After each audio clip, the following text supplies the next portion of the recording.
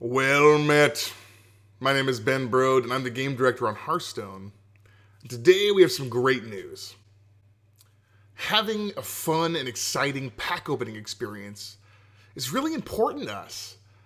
Recently, we've been reviewing that experience, and we have two major improvements we'd like to make.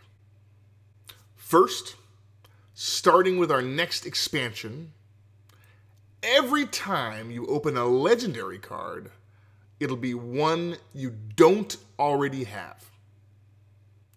Opening a legendary should be exciting, and we think this change will make it consistently better.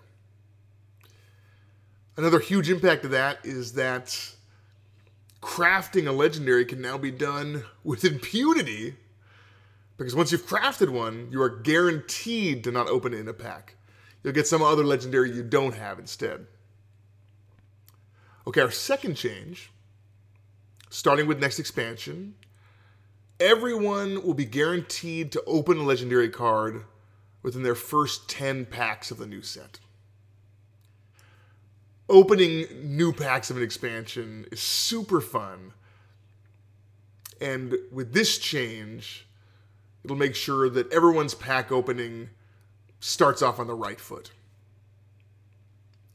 Combined, these two changes represent a material difference to the experience and fun of opening Hearthstone packs. We're super excited about the changes, especially in the context of our next expansion, uh, which honestly I am super excited to announce.